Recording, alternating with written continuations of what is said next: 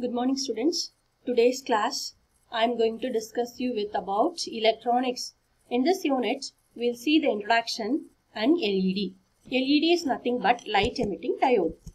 So today's class we'll have a discussion on syllabus, introduction on electronics, light emitting diode, types of light emitting diodes, construction of LED, working of LED, working principle of LED, 7 segment display, advantages and disadvantages of LED, applications of LED and some assignments.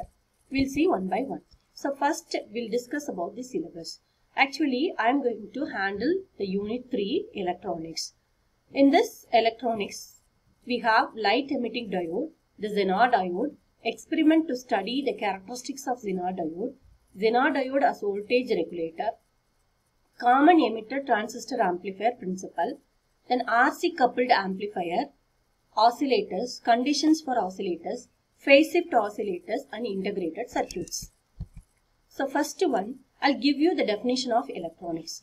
So electronics is a branch of physics and technology concerned with the design of circuit using transistor and microchips and with the behavior and movement of electrons in a semiconductor, conductor, vacuum or gases. In electronics, we have two types. One is analog electronics, another one is digital electronics.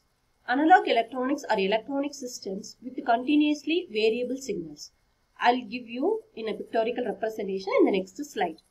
Whereas in digital electronics is a type of electronics and it has Boolean logic and discrete signal electronics.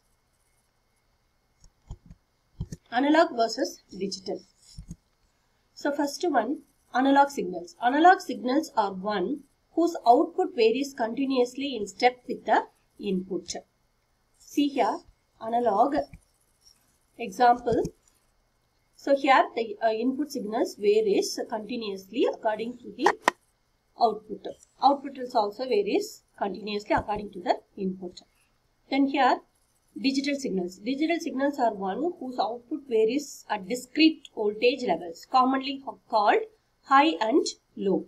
High means 1, low means 0. Example, digital.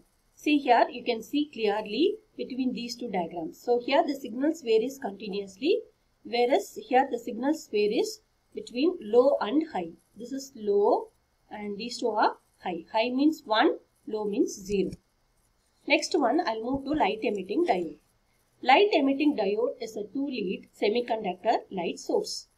In 1962, Nick Holonyak has come up with an idea about the light emitting diode and he was working for the General Electric Company. The LED is a special type of diode and they have similar electrical characteristics of a PN junction diode.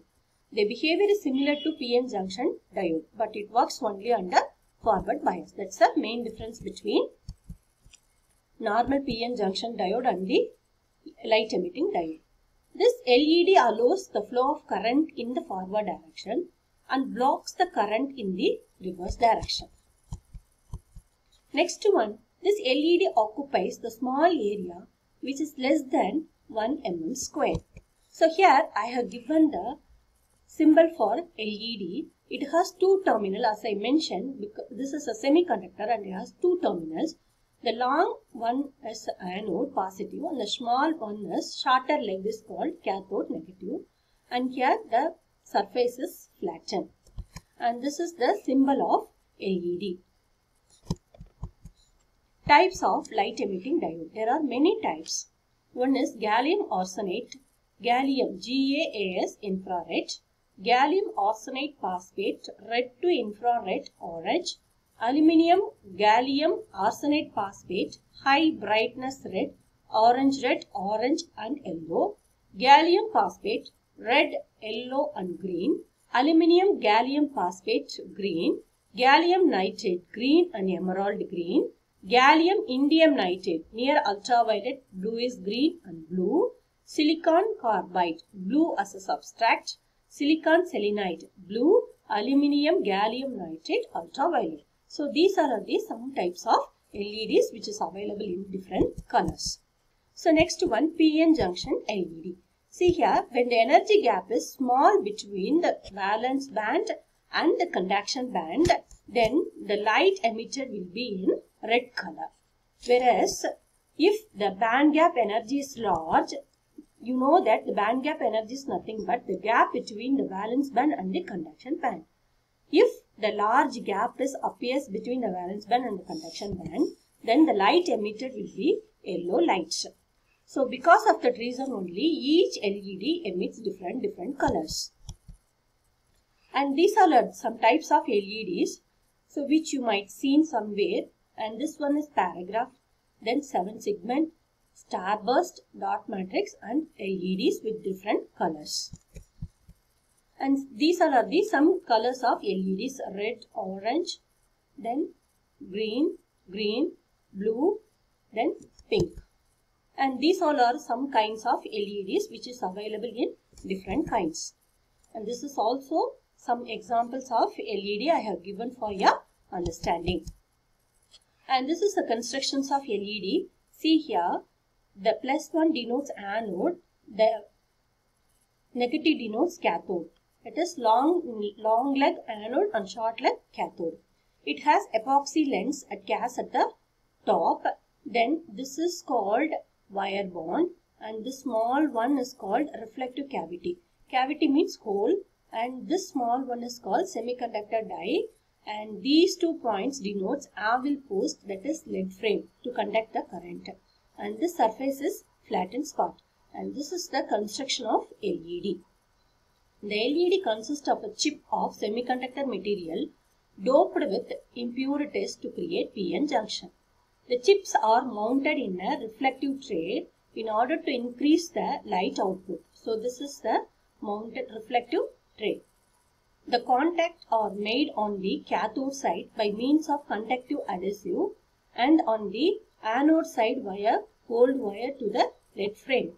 The plastic case encloses the chips area of the lead frame. So this is the construction of LED. So next one, what is inside the light emitting diode? So inside the light emitting diode, we have three major parts. One is transparent plastic case, second one is terminal pins and third one is diode. See here, this is emit lighting beams, emitted lighting beams and this green color is a diode and this is a plastic, transparent plastic case. Transparent means it is visible from other side. And these two are the terminal pins, positive and negative. So, transparent plastic case, terminal pins and diodes. These three are the major things which is appear inside the LED. So, next one, P region and N region. P region means positive, N region means negative. That means P regions, the majority carriers are holes and N region, the majority carriers are electrons. The P region is dominated by positive electric charge and N region is dominated by negative electric charge. The junction acts as a barrier to flow of electrons between P and N region. When a sufficient voltage is applied to the chip, the electrons which is in N region cross the junction and transfer into the P region. This result current flow. This I'll explain in the next slide in detail way. Let me repeat this point. When sufficient voltage is applied to the chip, the electrons which is in N region cross the junction and transfer into the P region. This result is current flow. See here, this is the substrate and it has a positive terminal and negative terminal. Positive means anode, negative means cathode. In positive, the majority carriers are holes. In negative, the majority carriers are electrons. That white circle denotes holes and this black circle denotes electrons. And this pink one is a junction, PN junction called active region. And this region only the recombination is going to takes place. So when, when we give a voltage, what will happen means the electron in a N region moves towards this positive region and similarly the holes in the P region moves towards the negative region. So at this PN junction the recombinations between this electron and holes takes place. Once the recombination takes place, it emits light in the form of photons and it disappears. This is the principle of LED. Let me repeat this point again. The P region, the majority carriers are holes. In N region, the majority carriers are electrons. The black one denotes electrons. This white one denotes holes. So when we apply the voltage, what will happen means the electron from N region moves towards the holes and holes from this P region moves towards electrons. So at this PN junction, the recombinations takes place. Recombinations means the electrons and holes combines to produce a photons. So light is getting emitted. See here, whenever the combination takes place, the light is getting emitted. So this is the basic and fundamental principle of light emitting diode. So next one working. See this is a P region and this is N region. In N region the majority carriers are electrons. P region the majority carriers are holes. When current flows across the diode, negative electrons moves one way and positive holes move in the other way. That means electrons move in one direction, electrons moves in one direction and holes moves in the opposite direction. When the diode is forward biased, forward bias means positive terminal should be connected to positive and negative terminal should be connected to negative of the battery. When the diode is forward biased, then the electrons and holes are moving fast across the junction and they are combining constantly, remo removing one another out.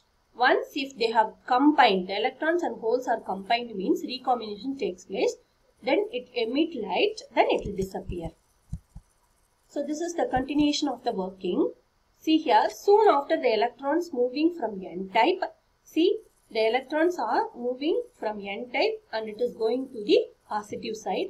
Similarly, this is a positive charge moving from the positive to negative. Soon after the electrons are moving from the N to the P-type silicon, it combines with the holes and then it disappears. See here the combination takes place between holes and electrons. Therefore, when a free electron falls, it loses its energy. The hole exists at a lower energy level than the free electrons. This is the continuation of the working. Hence, it makes the complete atom. See here, here the atom is getting formed. So, hence it makes the complete atoms and more stable. It gives a little burst of energy in the form of tiny packet or a photon of light. That concept I explained you early. When the electrons and holes are recombined, so it emit a photon in the form of tiny packets. This energy is transmitted in the form of photon which causes the light. The color of light is determined by the fall of electron and hence the energy level of the photons. So this also I explained previously. Depends on the energy level, the color emitted by the LED will be different. So next one, working of light emitting diode. See here, here I have given in circuit and this red color denotes N type and this blue color denotes P type. You know that N type the majority carriers are electrons, P types the majority carriers are holes. So here we have connected negative to negative, positive to positive. That means here we have given a forward bias. What will happen when we switch on this circuit? So the electron from N region moving towards this holes and the holes from the P region moving towards the electrons and here in the junction active region or uh, PN junction the recombination takes place. Once the recombination takes place it emit light in the form of photon then it will disappear. The electrons and holes at the junctions are combined. The photons are given off as the electron and holes are recombined. Once if it is recombined, then it emit uh, photons. Light will be emitted, then it will be disappear. Working principle of LED. First one, the working principle of light emitting diode is based on quantum theory. Second one, the quantum theory says that when the electrons comes down from the higher energy level to the lower energy level, the energy emits from the photon. Third one,